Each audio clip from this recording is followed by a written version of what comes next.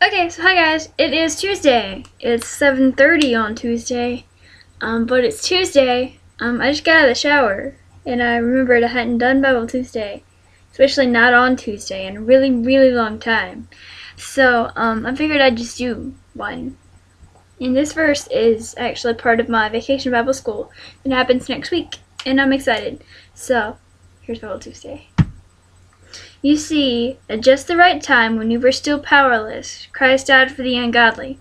Very rarely did anyone die for a righteous man, though for a good man someone might possibly dare to die. But God demonstrates his own love for us in this. When we were still sinners, Christ died for us. That is Romans 5, 6 through 8. Um, it's very true. Very true. Um, yeah. I love you. Jesus loves you. Keep smiling. Bye.